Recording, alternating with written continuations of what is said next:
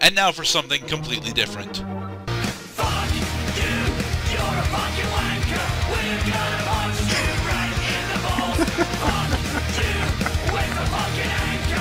Well, what are you talking about, Grant? This guy, this guy's as gracious a host as freaking Aphrodite in the Greek Colosseum. No, he is not. Fuck this fight. This fight fucking blows. Jesus Please Christ! note, I came into this fight with three fucking fairies. I will use two of them. One.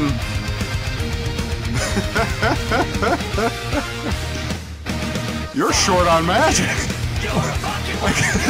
You're bowing now. Jesus Christ. What is this madness? I fucking hate this fight. Kick you in the balls. You, you're a fucking asshole. There. Skullmoth is down. Fuck that fight. The whole reason that that fight is a bitch is because you don't have enough magic power to kill him with your fire rod, unless unless you do some pretty significant sequence breaking. You have to deal with the conveyor belts for the entire fucking fight, and their slowdown. And you ha- and if your char- and if your charged up spin attack hits one of the hits one of the uh, spike balls, then it just uh, delete depletes your charge. I don't care about the prophecy of the Great Cataclysm. Skullmoth is the worst boss in the entire game. So you think I want to hear a story right now? I want to hear about how much dinner you're gonna make me later. I saved you. God damn it.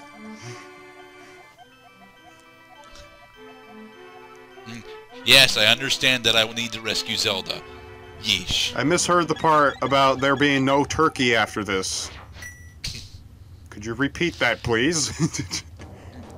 Alright, so with that, we have successfully cleared Skull Woods by clearing about half the damn dungeon. we just cleared the skull woods, but we're going back inside. Well, we have to because we can't uh, because since we don't actually have the flute or uh, the flute unlocked yet, we can't actually you know just warp around yet. And I think no next Ah.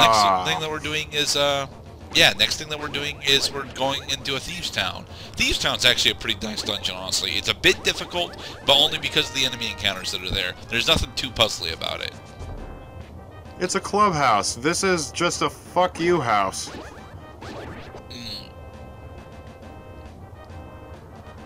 Okay, and Here's we the other are entrance into out. Skullwoods. No wait, that's the first entrance into Skullwoods. Yeah. It's the first entrance, second entrance. We are never going back there. Ever. Yeah, we there's no reason for us to ever go to, to ever go back to Skullwoods. Sure, we're missing the compass to Skullwoods, but fuck Skullwoods. No. No, instead we should just go into Pitchfork Town. Fuck yeah. And welcome to Thieves Town. I actually like this dungeon. I'm again, as I've already mentioned, this dungeon is a bit more is a bit uh, is a bit difficult, but aside from but its difficulty is mostly from its uh, enemy encounters, as opposed to any as opposed to anything uh, uh, puzzly or confusing. Like this this uh, corner of four rooms is like a third of the dungeon, to be perfectly honest. And you get you get It's a the map, the dungeon. big key, and the compass all all in here. So.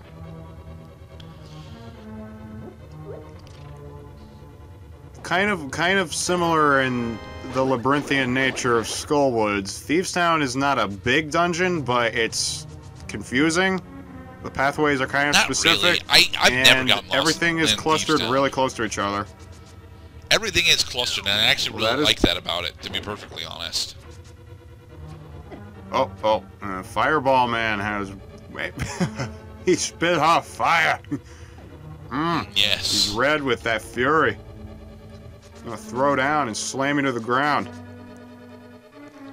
What I'm attempting to do here is make sure that I get all the treasure chests in this area, which you you don't have to get all the treasure chests in here. In fact, the only treasure chest that you need to get in this area is the one that's got the big key in it. yeah, but that one is uh, in is two rooms away from here, so. Let's talk dungeon feel for a second. Skullwoods taught you very early on that you have to keep moving in order to avoid the wall masters because there are wall masters in every fucking room. Thieves Town is more like we're gonna lure you into a false sense of security so you'll be standing still and our thieves are gonna pickpocket you. Lost your money. There's the compass. Ouch.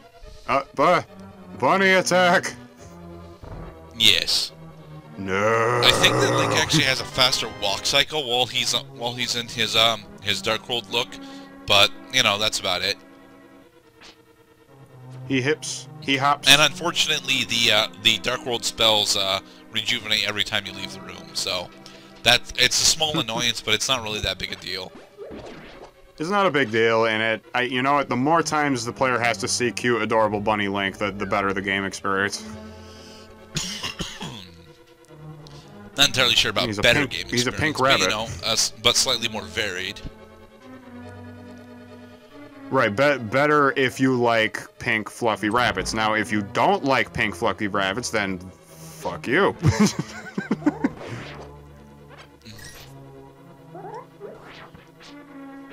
Mm, there's him down. We need to go up top here to get the small key, which is on the other pot. There.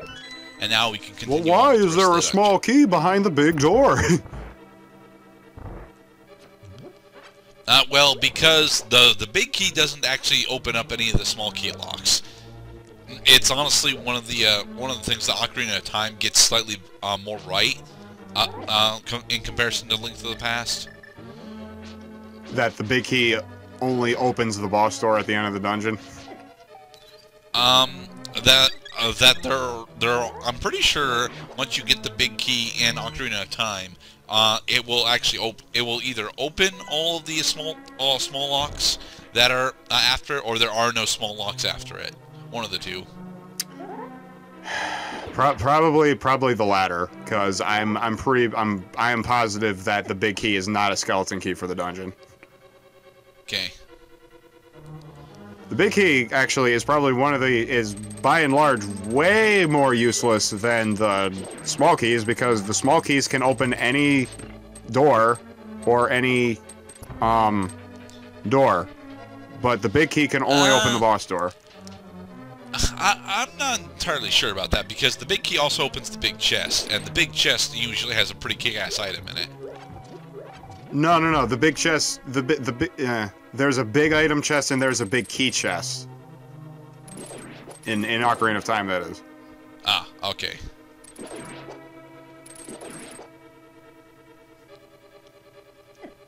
Ah, yes. A conspicuous ray of light over a crumbled floor.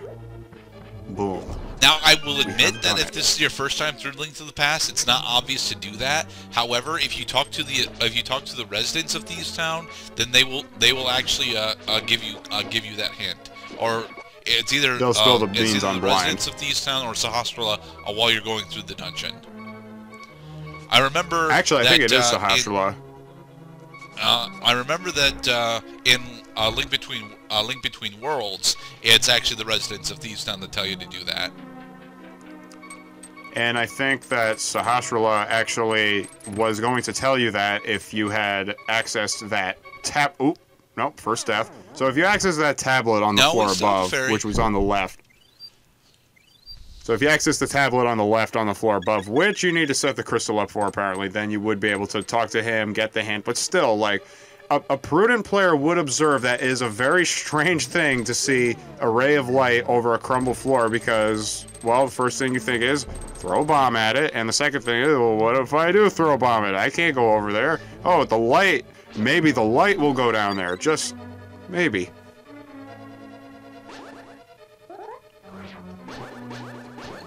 Stupid Dragonites.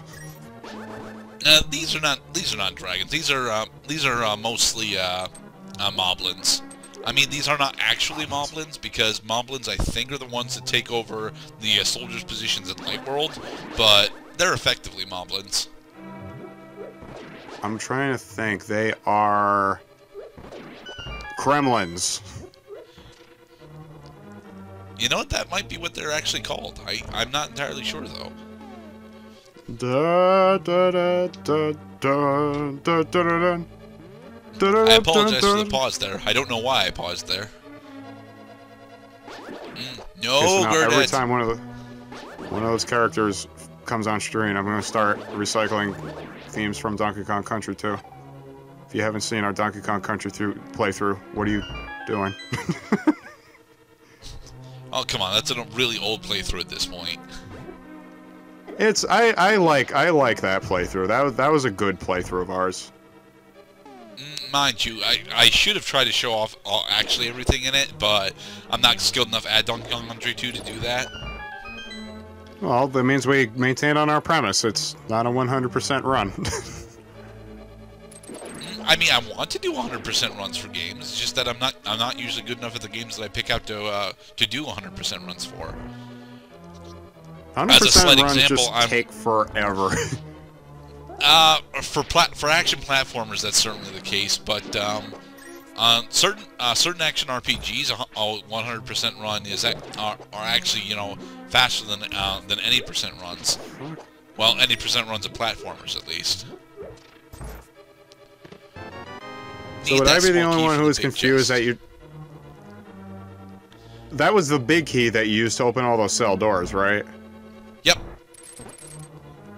Interesting. See, that that's kind of weird. I might look at that It's like, well, weird, fuck, what do it's I do now? Uh, it's weird, but it's not it's not unexpected because that's how we uh, that's how we rescued Zelda uh, originally. We had to use the big key, and booyah, the Titan's Mitt. Now we can lift up dark boulders. Oh, yeah, you're right. Okay, so I hope that we have recalled lessons from approximately five to six hours prior to this moment in our game experience. Three. Three three hours. and it only takes three seconds to forget something. Uh, less if you're really bad at it. I mean, mind you, I did use a guide to get through pretty much all this game. You have you have no excuse to not know that you can't go through those cell doors.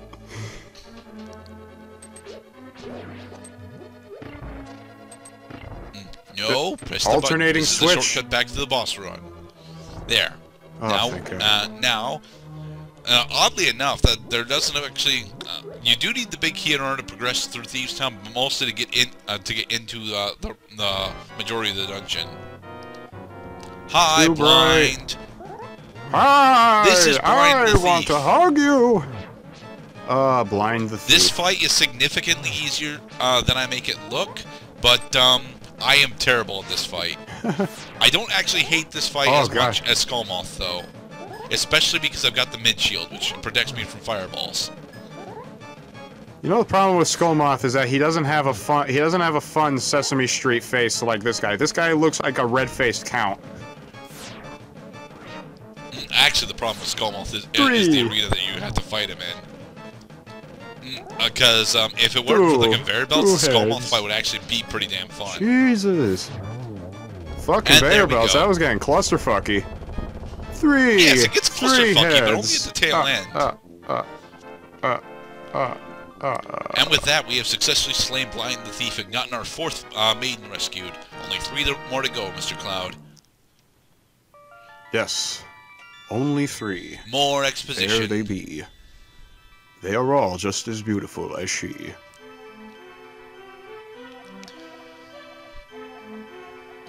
You are welcome, random woman.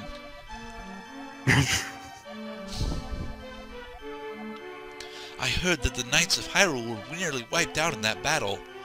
You are perhaps the last one to carry on the bloodline of the Knights.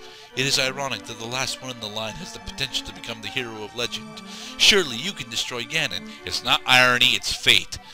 The Legend of Zelda is all about fate and the manipulation of the goddesses. Eh,